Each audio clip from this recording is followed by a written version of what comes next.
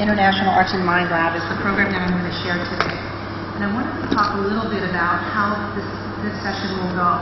Um, we are really looking at bringing you some of the research around the science of the arts, but also to share some programs that are working all over the world. So I'm going to share a little bit about the Brain Science Institute's um, Mind, Arts and Mind Lab. Then I'm going to talk about neuroscience. I'm also going to share a new impact-based thinking model that we're developing at Johns Hopkins that helps to look at ways we can use brain research and the arts to, in, to, to extend the outcomes of the arts in health, well-being, and learning. And then we'll be able to um, open the conference up to a number of organizations, including Save the Children, Heart Program, um, Silk Roads Project, and others. So let me just begin by talking a bit about neuroaesthetics. Um, the and Minds Lab interdisciplinary research to practice program, and I want to stress interdisciplinary. It's very important that we bring researchers, sociologists, psychologists, educators, artists, art historians together to think about how these fields can work together on behalf of society. It's a very messy process, but a really important process. And in that chaos and in that mess is really where we start to find the depth of, of learning. Just a brief history. We started the Arts and Mind Lab in 2010. And we did this through a conference called the Science of the Arts, where we brought together a number of researchers and artists. And what we found was while their work seemed very different, in fact, they shared much in common. They shared a love of discovery, of curiosity, of insight, and of satisfaction in, in the way that they were able to approach the work. We um, worked for a number of years, and I'll share some of the research that we invested in, in, in researchers and artists coming together. And then in 2017, we launched the International Arts and Mind Lab, which was a culmination of those seven years of learning about how we could best bring the research and the arts together through an interdisciplinary model. What was fascinating in our work in 2010 is we knew then that the work needed to be multidisciplinary we knew that it needed to be rigorous science, that the efficacy of your work was critical. Oftentimes we hear a lot about, and we know in our hearts that the arts are effective, but we have anecdotal information that we share, and we don't have the baseline and language to share arts and sciences to really be able to, to offer that. Um, that meant that we needed to be able to figure out how to we bring research-based practice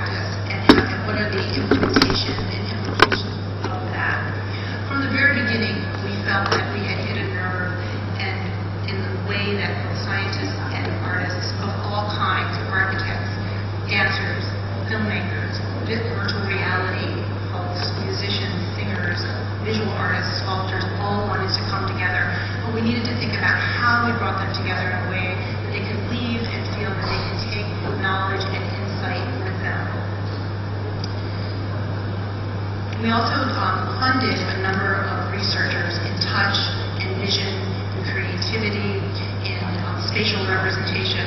Um, we also looked at um, understanding unconscious mind related to um, Impressionist art. And what we found was that while the research that we funded uh, through Johns Hopkins was extremely uh, interesting and we learned a lot about how the brain and the arts work together, we were not able to get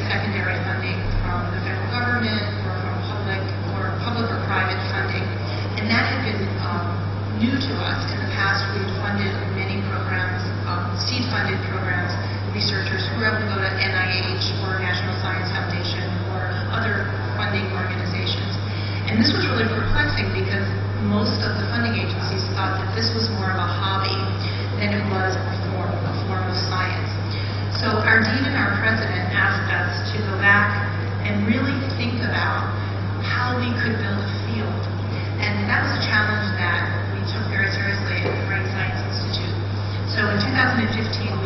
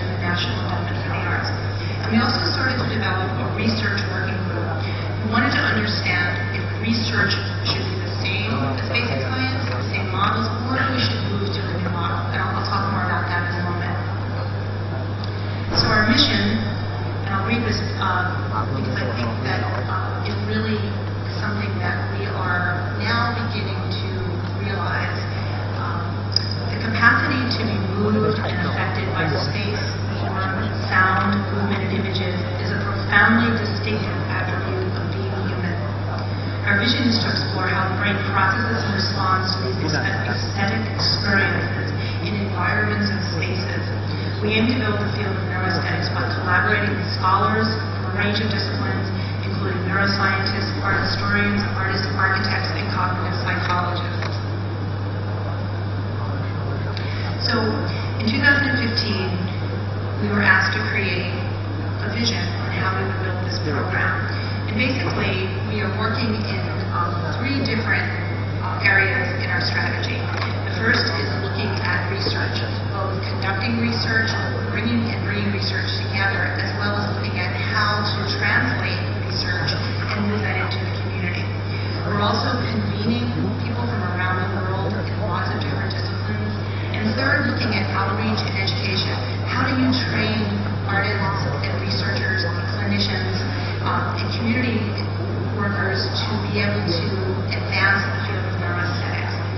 We've developed a number of programs that we are um, uh, beginning to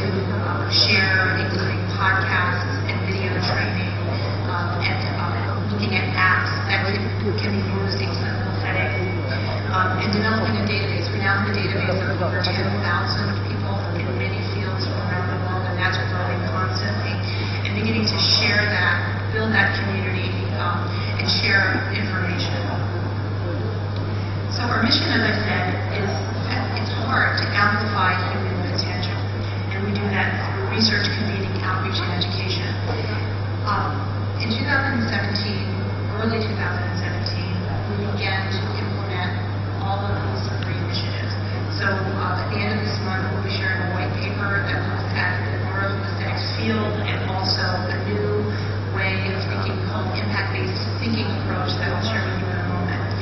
We are also um, building a team of researchers. Inside of Hopkins, we have 450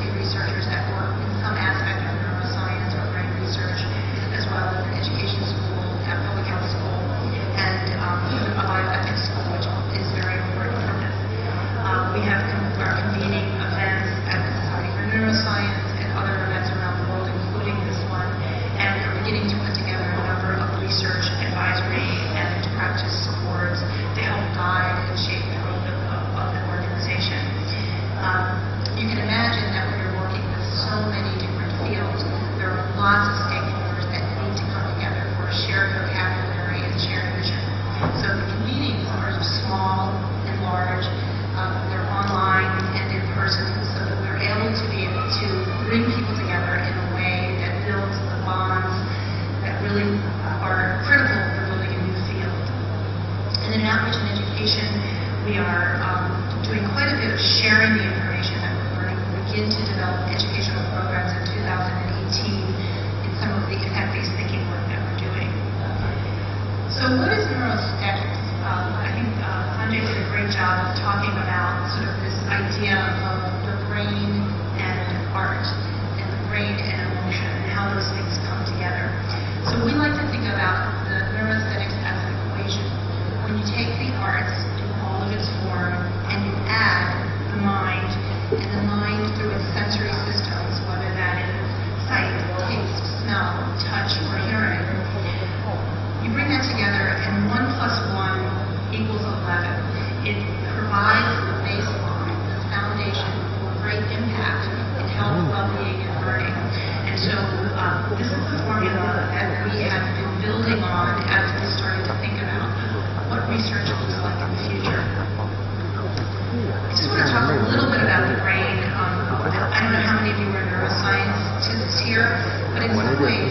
brain is wired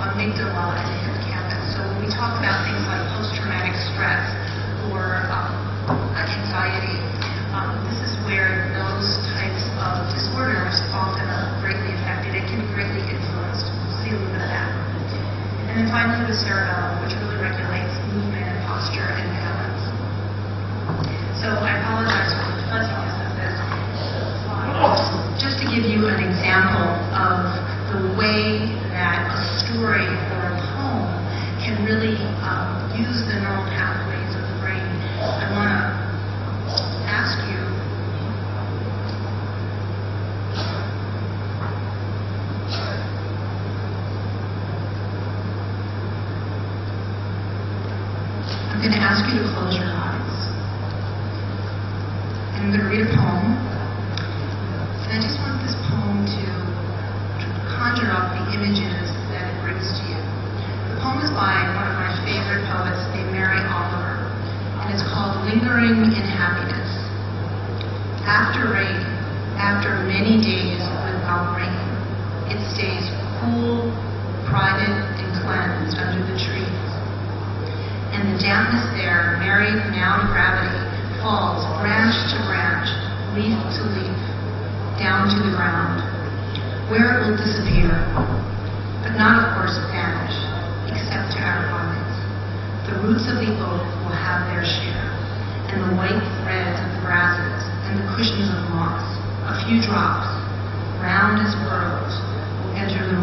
And soon, so many small stones, buried for a thousand years, will feel themselves being touched.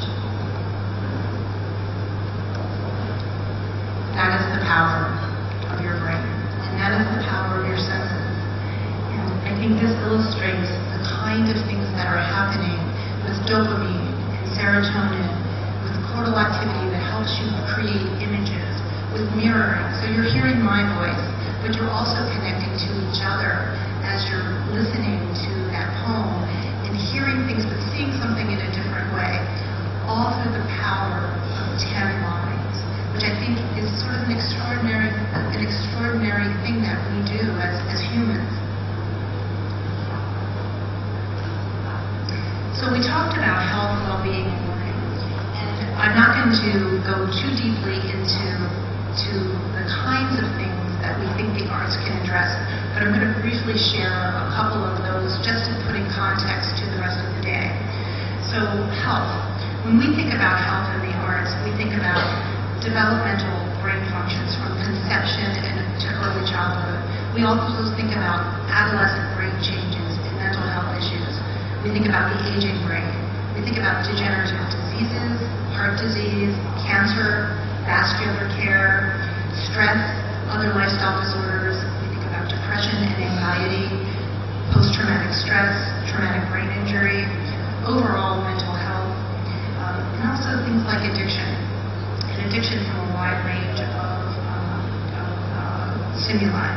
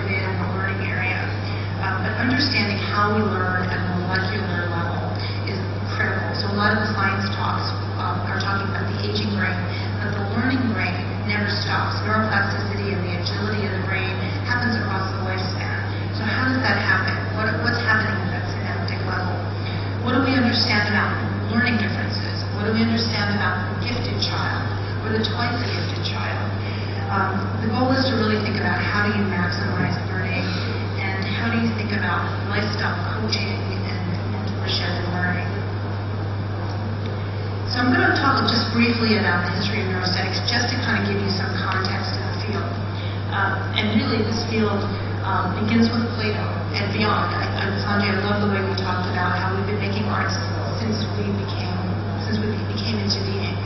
Um, but really, the, the, idea around consciousness um, is something that began in 400 BC when we really started to seriously try to talk about understanding what consciousness meant and how that was influenced through sensory systems. Um, um, Alberti was very interested in girl, as a girl art historian, trying to understand the links between the brain and art. Da Vinci's work in anatomy and human emotion um, laid quite a bit of work. Cajal's work in um, Spain in mapping the way that um, neural networks um, happened also was very important around the same time. Work began to happen in the psychophysics and study of aesthetic appreciation initially aesthetics appreciation was seen as new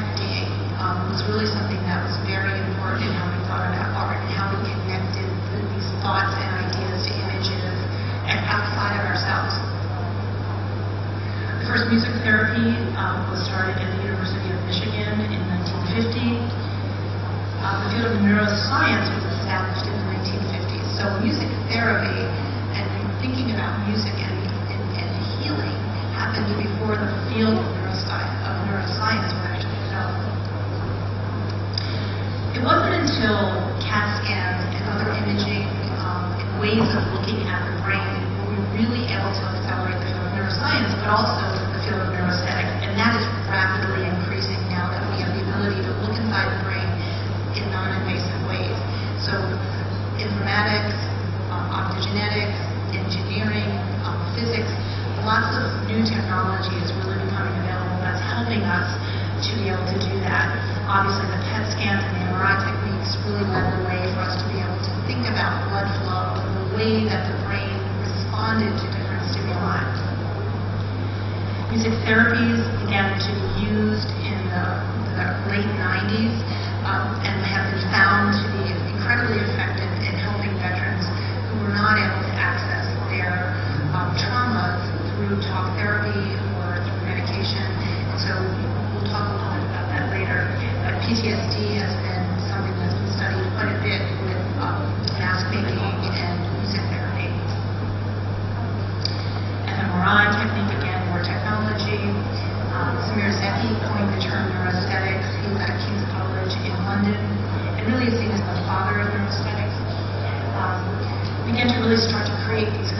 sensitive neural maps to understand the aesthetic experience. So this, all of this work has really begun to be laid in the, in the 2000s. Charles Limb published some groundbreaking work uh, that we funded at Johns Hopkins on the study of, of creativity, which really was interesting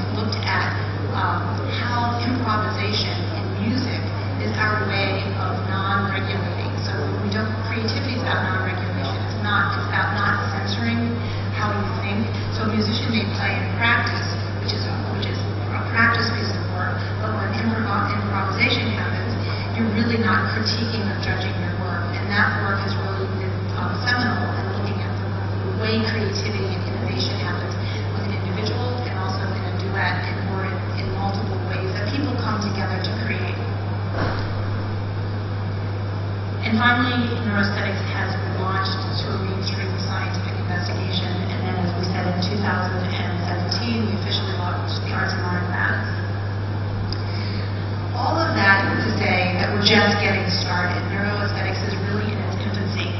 Um, I'm going to move through uh, this part relatively quickly in the interest of time, uh, but I wanted to share with you the work that we're doing at Johns Hopkins is something called impact-based thinking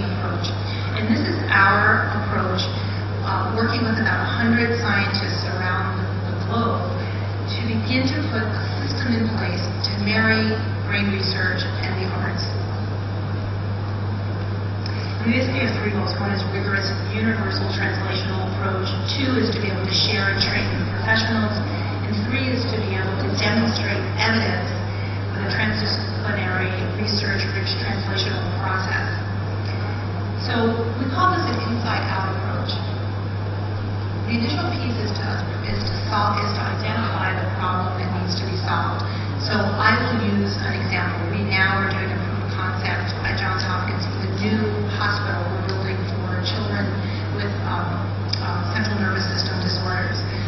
problem is how do you maximize outcomes in building a space for children with very different kinds of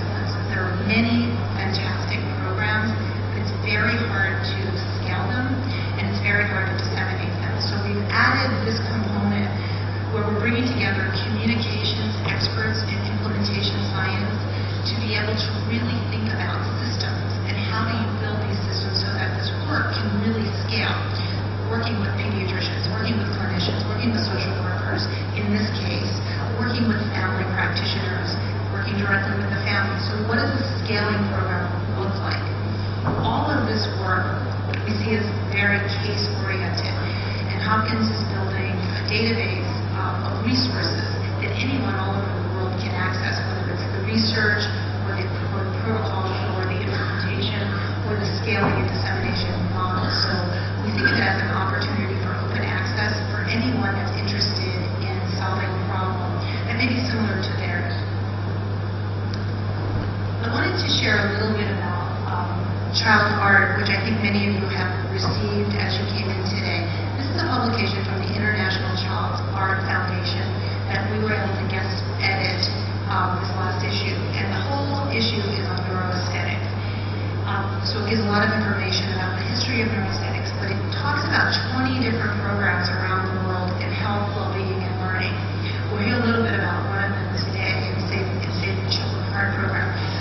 gives you an idea of the different aspects of brain research.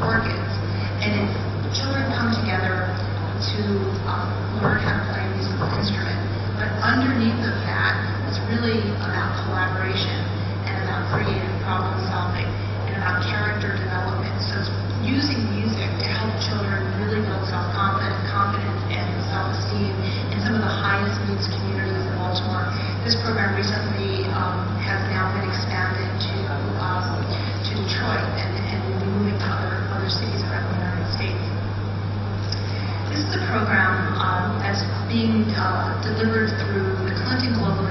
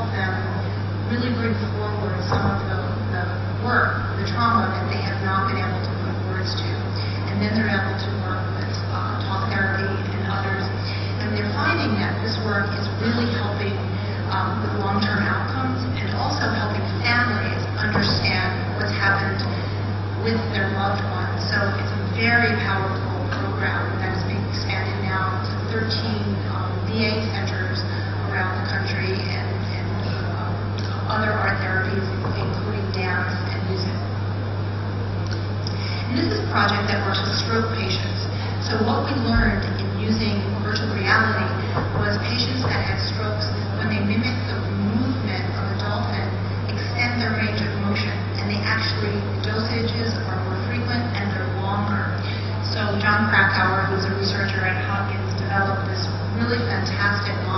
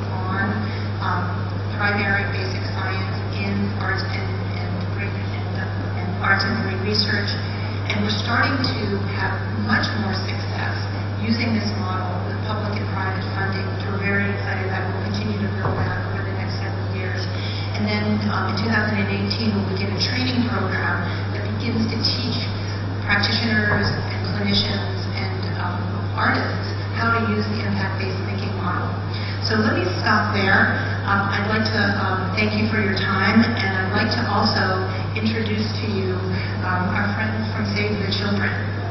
So thank you.